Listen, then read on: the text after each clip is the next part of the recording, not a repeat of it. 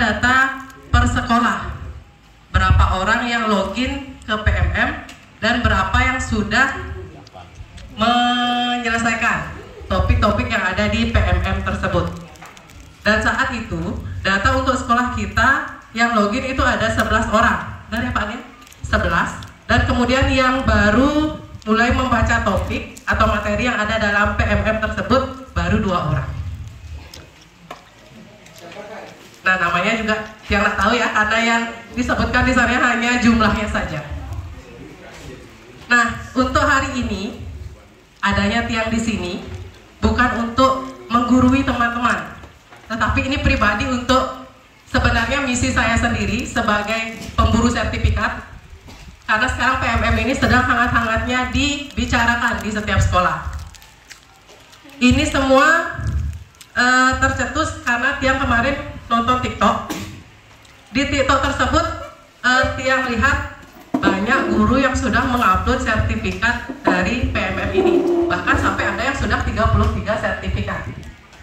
Nah dari sana saya mulai bertekad apa saya bisa untuk mencoba melengkapi aksi nyata di PMM ini untuk bisa mendapatkan sertifikat tersebut dan hari ini yang ingin yang selesaikan yaitu topik pertama yang ada di PMM mungkin teman-teman sudah pernah login ke platform ini. Mungkin sudah tahu tampilan di Merdeka Mengajar ini seperti apa.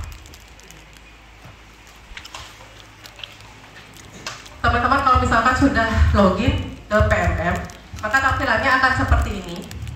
Nah di sini akan ada banyak seri pelatihan yang bisa teman-teman ikuti. Di sini di platform saya yang pertama itu seri pelatihannya adalah menciptakan kelas merdeka belajar. Ketika ditelusuri lagi, ternyata di dalamnya juga masih banyak ada materi-materi yang bisa dan harus dipelajari.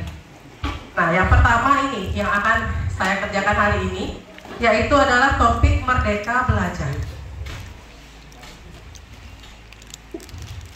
Untuk topik Merdeka Belajar ini ada beberapa modul yang harus kita selesaikan. Nah, kebetulan di sini modul modulnya ada lima, dan ini sudah yang selesaikan uh, sekitar sebulan atau dua bulan yang lalu. Modul ini cukup teman-teman baca dan dengarkan karena di dalamnya ada video-video pembelajaran yang harus disimak. Dalam proses uh, pembelajaran melalui video tersebut akan ada tes-tes yang harus teman-teman kerjakan sehingga nanti di sini akan centang hijau. Ketika sudah selesai baru modul ini akan ada tanda centang hijau. Jika tesnya tidak teman-teman kerjakan, secara otomatis centang hijau ini juga tidak ada. Nah seperti itu. Ini dia hanya berbagi pengalaman ya. Nanti mungkin teman-teman selagi ada waktu luang bisa dibuka-buka.